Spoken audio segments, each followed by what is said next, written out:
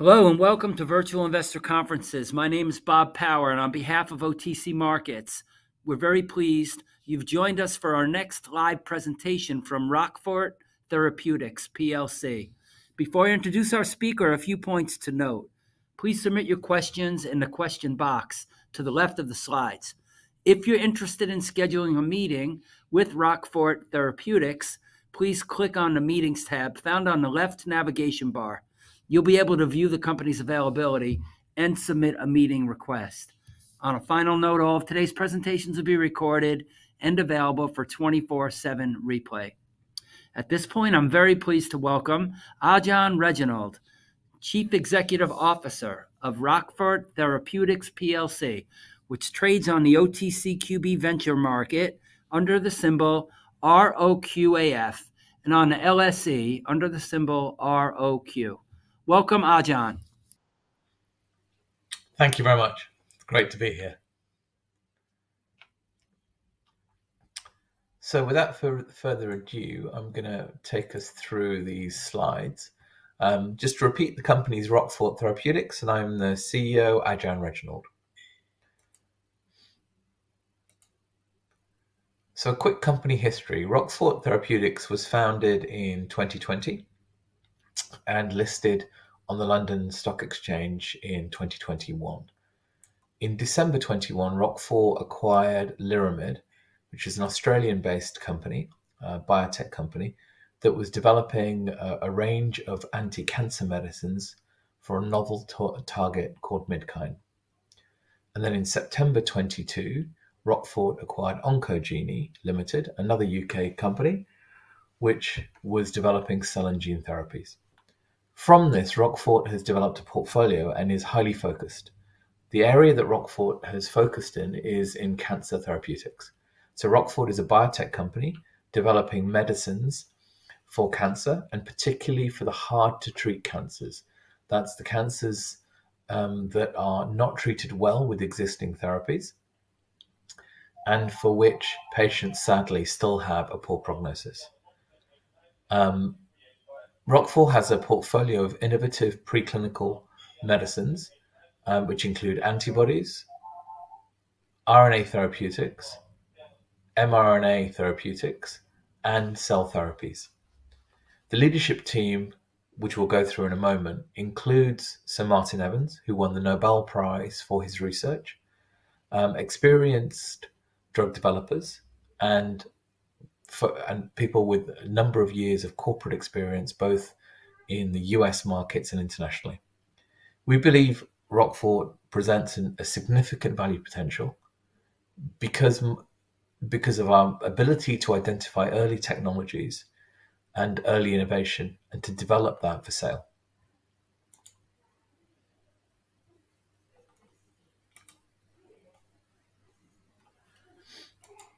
Sorry, having a slight IT problem here.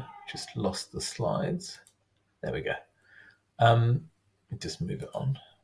There we go. So a little bit about our strategy.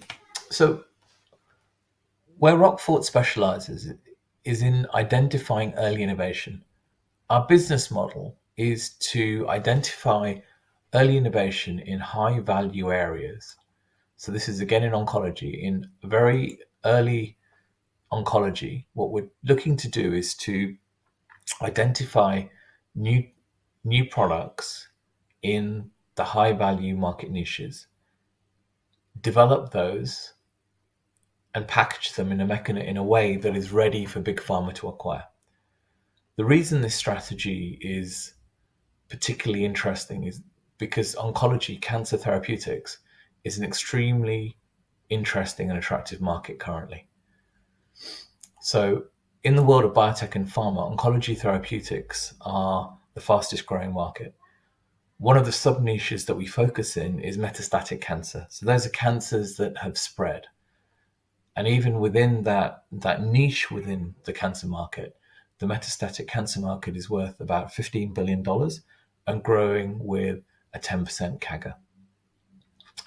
So Rockport, Roquefort Therapeutics, as an early biotech company identifies these early opportunities in these high value niches and then develops them and packages them in a way that is very attractive to potential acquirers. Most companies in biotech, small companies in biotech, are acquired by big pharma companies. So Roquefort is a specialist in identifying early innovation, developing it and packaging it for potential acquirers in big pharma. A little bit about our team.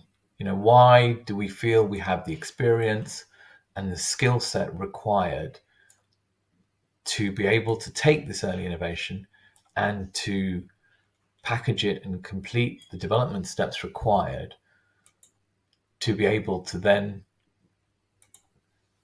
put it into a format that's appealing to big pharma. Well, part of that comes from practical experience. So, Sir Martin Evans, who we've highlighted here, is a Nobel Prize winner with more than 50 years' experience in biotech and pharma. Armand Keating is a well known physician scientist based at the University of Toronto, um, who again has got that practical experience of having taken medicines from just an early idea into clinical trials. So through that value inflection point where you're you're taking something which is early innovation, often from a university, and developing it to a point where it can be um, packaged properly for big pharma to be able to use it. Um, Dr. Darren Disley is a very experienced chief executive officer um, of, of, public companies and now a board director of public companies, um, with again um, experience and, and, expertise in biotech and pharma. Darren has a, a, PhD from the University of Cambridge. Dr. Michael Stein is a former Rhodes Scholar, uh, as an MD PhD from the University of Oxford, and someone who has spent more than 30 years in biotech and pharma. Um, Simon Sinclair is another non-executive from the University of Cambridge, uh, another MD PhD who works for the multi-billion dollar company Rectin, uh, Reckitt as a chief safety officer. And then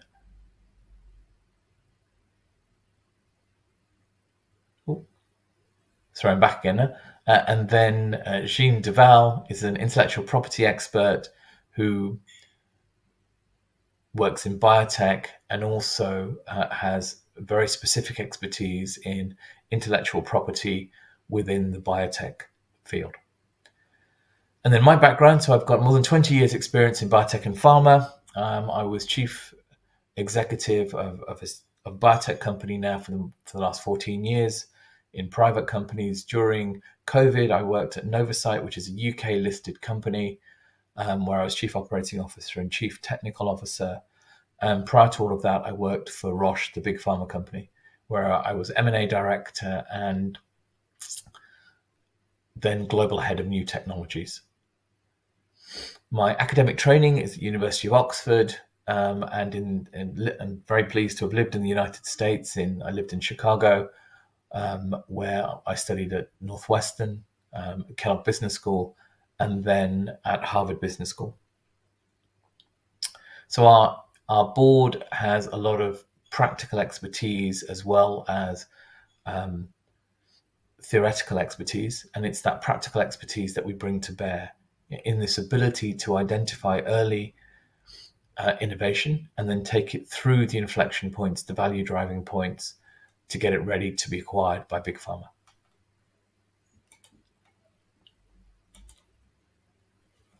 So I've taken you through our value creation cycle. I think the key part of this is that it's a sustainable business model and a sustainable process. So we're able to identify innovation very early. We we know how to develop that innovation, take it through the steps required to create value. And the and the key inflection point that we're looking for is we're taking this these these early medicines through the steps required for and then packaging them ready so they'll be ready to go into a clinical trial. When we look at the data over the last 20 years, so between 2005 and 2020, around 330 companies were acquired at this very early, this preclinical stage development. And the average valuation of those companies was $71 million. So that's our benchmark. You know, we, we believe for each of these individual compounds that we're developing, the average valuation over the last um, 20 years is around $70 million and that's our sort of re- a replicable business model to find very early innovation and to develop it through preclinical development ready for sale to large pharma companies. And, and the sort of specific expertise that we have is, is both the networks. We understand what big pharma is looking for, um, as well as understanding who to speak to in big pharma. You know, there are there are key elements of the strategic decision making in in terms of how you select a product, and then once you've selected the right product, how you develop it and package it in a way that's ready um, to be very to be seen to be very attractive by potential acquirers. Again, this is the, the data I just talked about. So what you see is the the medium um, median upfront payment in a licensing deal for, for individual products that we're developing is around $30 million, uh, and the mean was over $100 million. And the individual asset valuation for each of the products in our class, which is the first group here on the left hand side where it says preclinical, is around $70 million. So, what we're able to do is to identify innovation very early, take it through a very structured development process um, and then hopefully get it to a point where we can realize value um, at this average valuation. So in Q4 um, of last year, we put the foundations in place. So we put our portfolio together, we completed an acquisition, and we conducted a strategic portfolio review. Now in Q1, we've started three different tracks. So the first is that we're looking at out licensing. We completed our first out licensing deal in February of this year, um, where we were able to out license some of our non strategic portfolio to um, Randox, which is one of the, the, the, largest diagnostic companies in the UK. Um, and then we've also continued our internal R&D and drug development um, process. What we've been able to do there is to develop a, a fifth asset, which is called, uh, which is an mRNA asset. Uh, we're probably all familiar with mRNA from um, the Pfizer and Moderna BioNTech vaccines, but mRNA was originally conceptualized for use in cancer. And so, what we've been able to do is to develop an anti cancer mRNA that we, we announced this week. In parallel to that, we've been developing external R&D and through a network.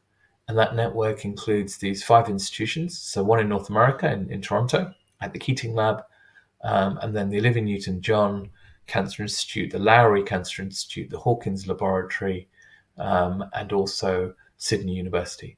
So through that external network, we're able to develop programs in parallel. So this is very really a scalable model.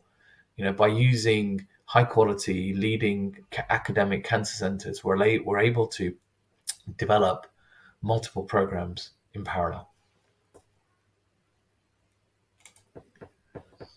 A little bit about the first licensing deal that we did. So we completed the Randox deal in February. The total transaction value is around five million pounds, and it's really to develop clinical diagnostics. Clinical diagnostics are critical for cancer because they enable us to diagnose patients early and also to diagnose patients that would um, benefit from our therapy.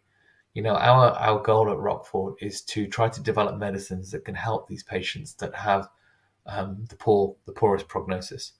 And so, by developing early diagnostics and hopefully rapidly um, accelerating our drug development, we hope to be able to bring targeted medicines to the market that will help these patients that have the worst prognosis for us to remain focused on therapeutics, having a partner like Randox is very important because they will focus on developing the diagnostic.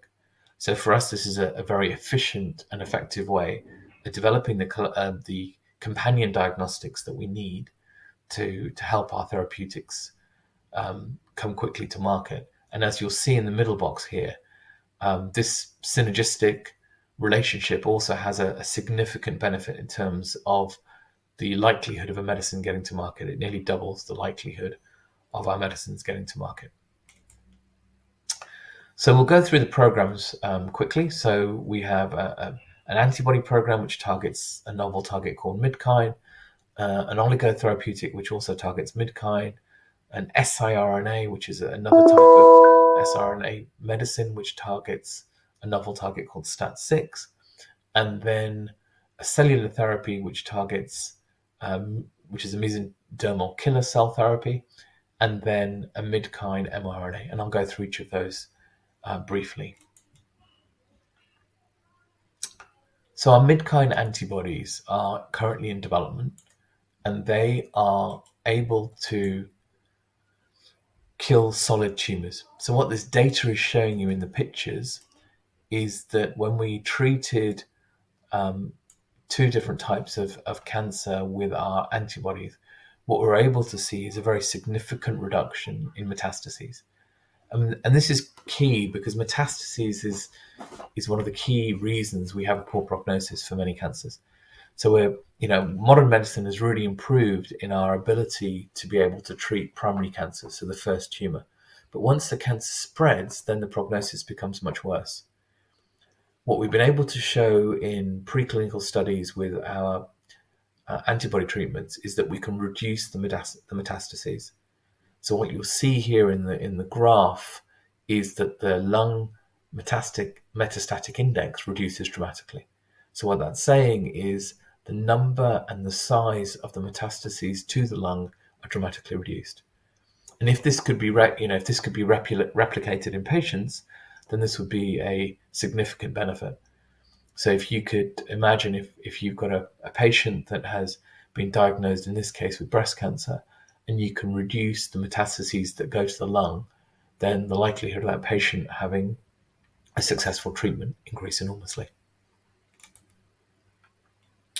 We've progressed two programs, ROCK A1 and ROCK A2, uh, and we focused those um, treatments in breast cancer and metastases to the lung.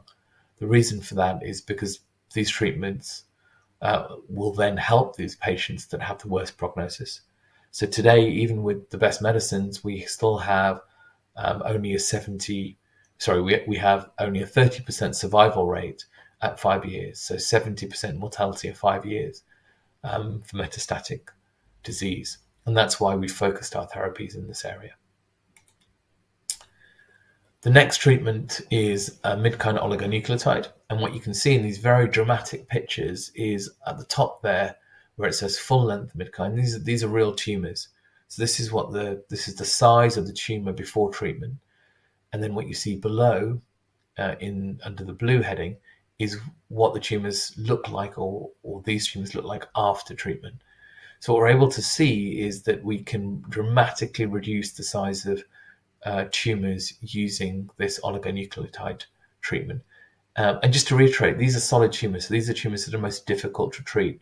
And that's why we focused our therapies on these areas. So again, our, our niche that we're looking for is, in this case, solid tumors that have a very poor prognosis with existing therapies.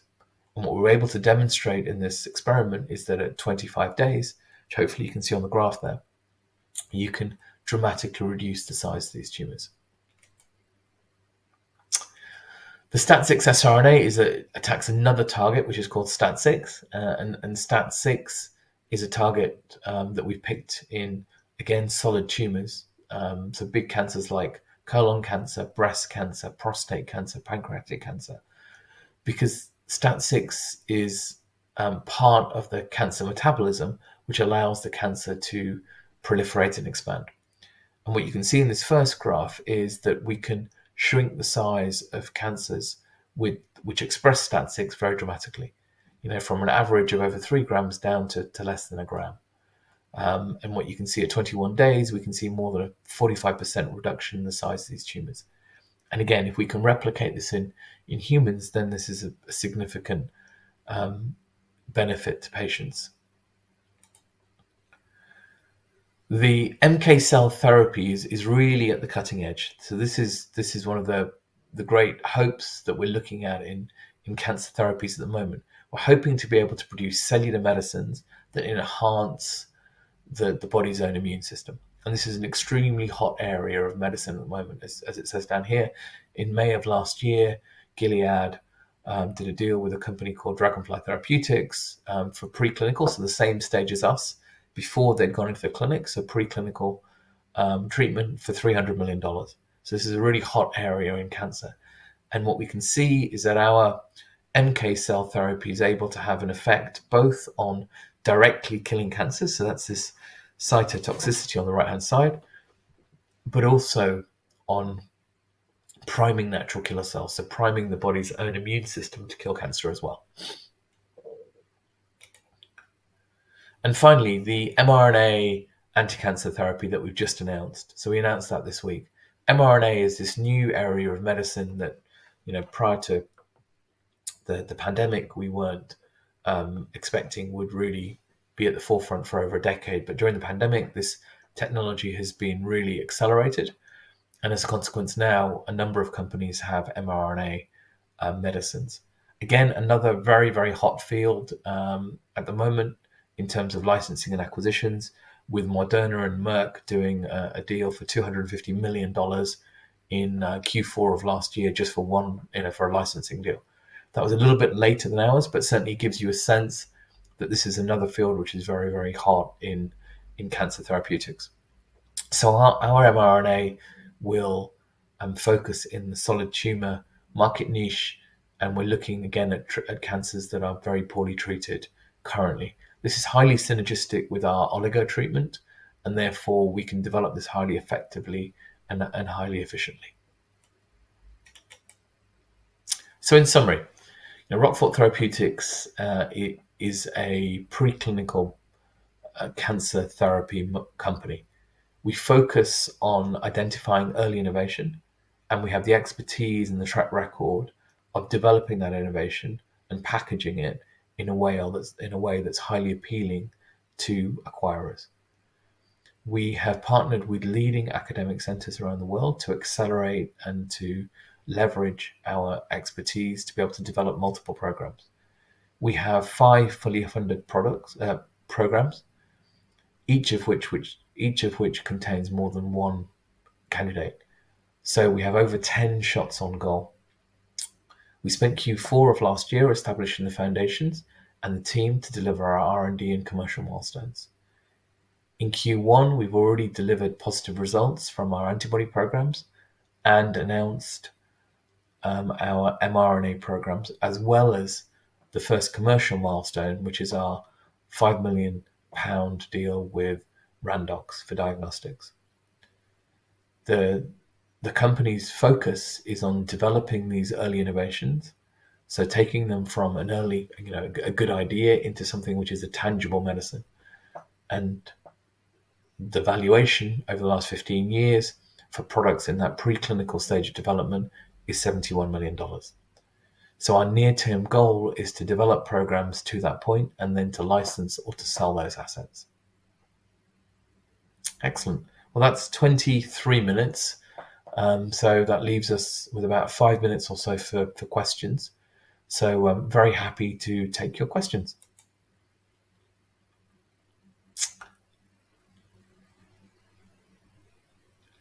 So the, the first question is at what stage of development would you consider consider selling a portfolio company?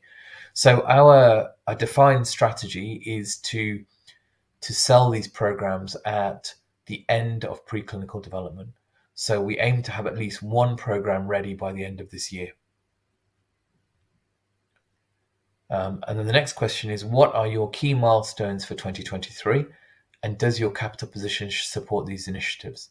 Yes, very much so. So we have sufficient funding to to uh, complete the development all of all of our programs. So all five of our programs are fully funded to the end of the milestone that we're looking for, which is the end of preclinical development, at which point they are ready to be um, sold or out licensed. Um, we have another question, which is what is what is your teams and your track record in delivering drugs? Um, so I've taken two medicines, sorry, three medicines in total. I've taken three medicines from just a good idea into clinical development. Um, so two of them are into um, phase two clinical trials, and the third one is is ready to start a phase one clinical trial. Um, prior to that, I was um, M&A director at Roche Pharmaceuticals, where I acquired a number of companies like Roquefort Therapeutics. Um, my largest deal, which is in the public domain, was the Alnylam transaction, which was $1.3 billion. And then um, I've done about a dozen more, which are in the sort of 100 to 500 million dollar range, and then probably another dozen which are smaller transactions, more in the um, in the sub 100 million. The team um, that we've got working at Roquefort Therapeutics includes a number of people that I've worked with for, for nearly a decade who have helped me um, take those medicines from, as I said, just a very early concept, a very early idea into clinical trials. Um, and then let's ask another question. Um, so the other question is around exits and examples of value creation. Um, so there are uh, two in the public domain. So one is uh, my previous company where investors were able to um, invest at one pound and were able to then sell their shares um, in a transaction with a big pharma company at 101 pounds. Um, that was about six years later. Um, and then another round of investment where investors were able to um, sell shares at about a three and a half to four x after two years. Um, I'll just go through the next question. So our most, what is our, the question is, what is your most advanced program and when do you think you will realize value from it? So our most advanced programs are the antibody programs that we just described. So those programs are now completing efficacy studies and our hope would be that we would look to out license those programs by the end of this year. We've already started discussions around those programs and we're waiting for data in Q2 and Q3. So, so the way this sort of works is in, in big pharma where I used to work, you have a, a sort of checklist of things that you're looking for. Uh, and, the, and the key things are number one, do you have uh, a candidate medicine, a program which is in the right area? So it is is it in a high value niche like the area that we focused in, which is the high value um, cancer niches where where therapies currently don't work. The second criteria is, you know, it has this candidate medicine been developed properly. So has it been developed um, using validated models, using all the experiments that you would like to see if this was being done in a big pharma company? I think that's where we add a lot of value because that's obviously the background and the experience that we have. Uh, and then the third part of this is around intellectual property. So, do you have the requisite intellectual property to to own this medicine? So, um, and again, that's an area that we I think have a lot of expertise in. You know, I'm the inventor on over 100 patents, um, and and the, each of our medicines is protected by a composition of matter patent. Um, so, so I think the key the key pit for us is we we don't have any red flags. So we have all of the the medicines packaged appropriately, ready to be acquired. We're waiting for the data packs now to demonstrate that efficacy. So uh, another question is, how did you finance acquisitions of the portfolio companies? So um, the the two acquisitions that were done previously, the Oncogene acquisition was an all-share acquisition. So Oncogene um, was acquired for shares, plus there was also a fundraising round of a million pounds um, that went along with that acquisition. Um, and then last couple of questions. The one que- the next question is: Do you expect much more news flow over the next six months? Uh, yes. So we, you know, typically um, we have milestones every one to two weeks. You know, with five programs that are delivering data on time, you know, on, on schedule and within budget. Um, our sort of natural cadence is that we have material news at least every two weeks. Um, this week has either been a good week or a bad week. We've had um, three announcements this week of um, material events. So I've got time for one more question if there's an additional question at all. No?